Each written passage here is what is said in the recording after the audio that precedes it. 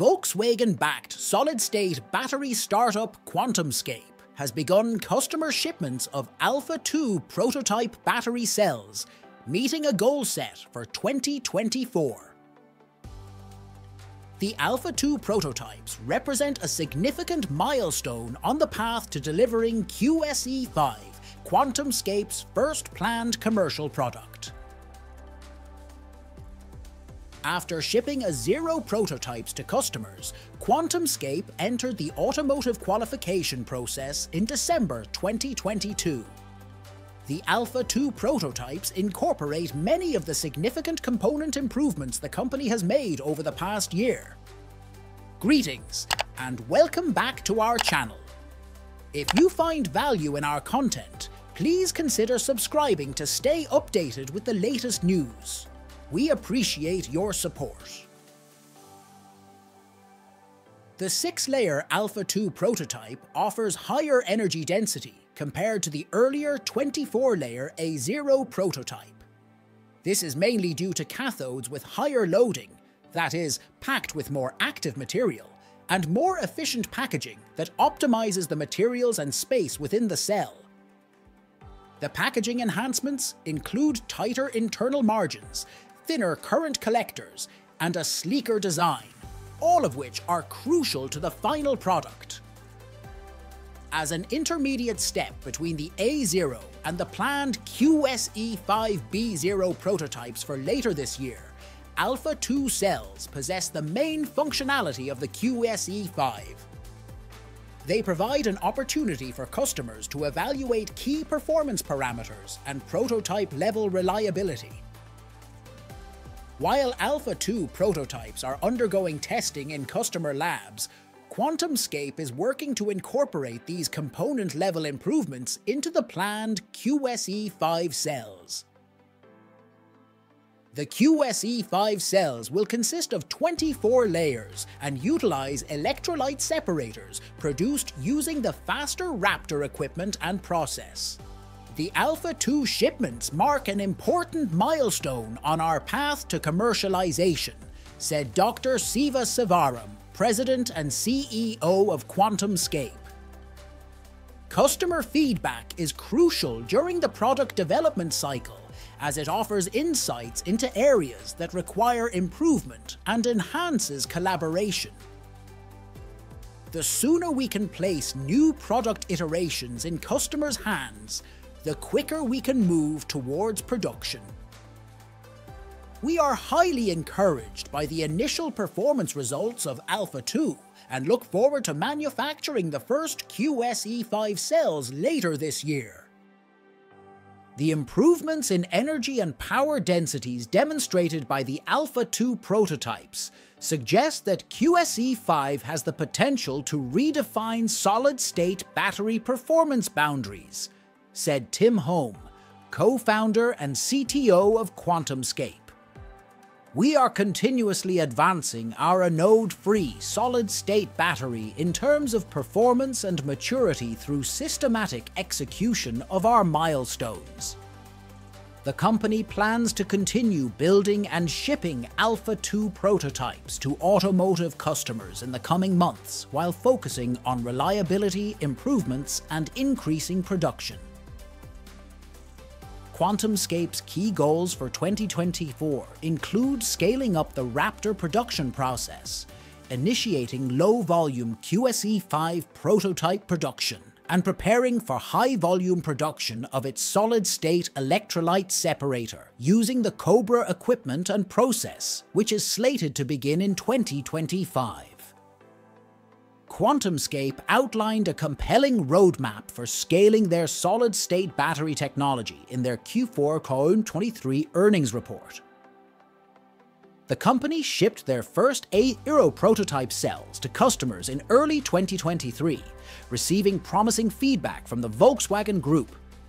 The battery completed 1,000 cycles with over 95% capacity retention indicating that the solid-state technology has the potential to enhance durability and battery life compared to the current fleet.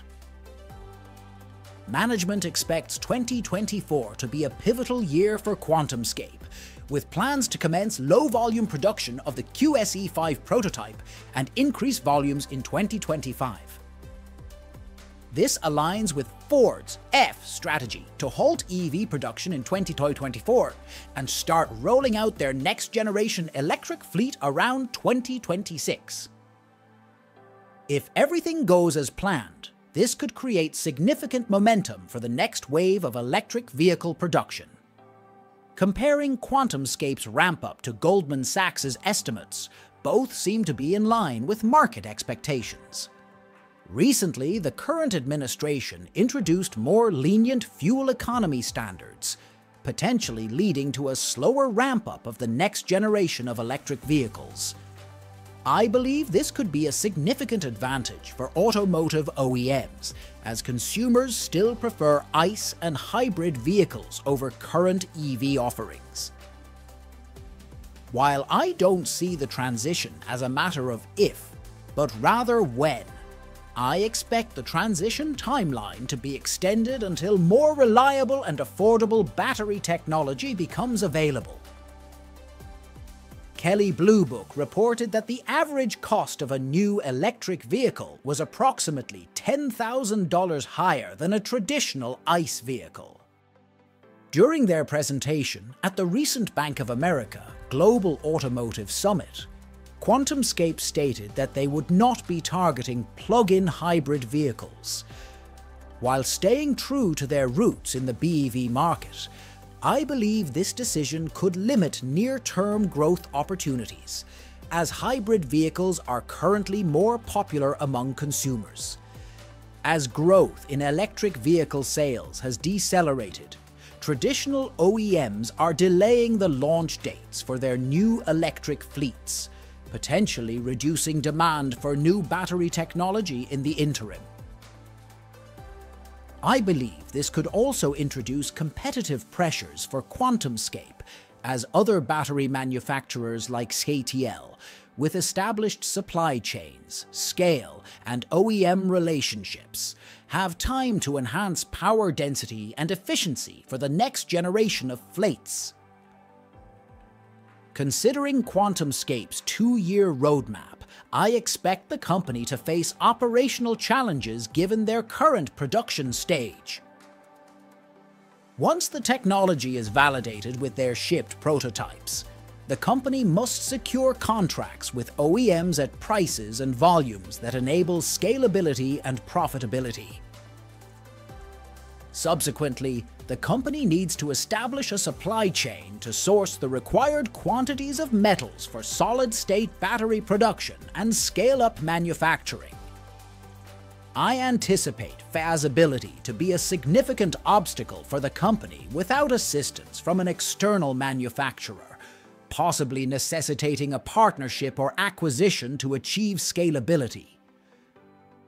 While speculative, I believe this argument holds merit, given that battery manufacturing capacity domestically is not on par with that in China. In addition to corporate competition, sourcing raw materials for electric vehicles presents significant geopolitical risks. Currently, China refines 89% of the world's neodymium and praseodymium, essential metals for EV magnets. Some domestic mining companies are either assessing mines for rare earth elements domestically or producing REEs offshore for domestic consumption.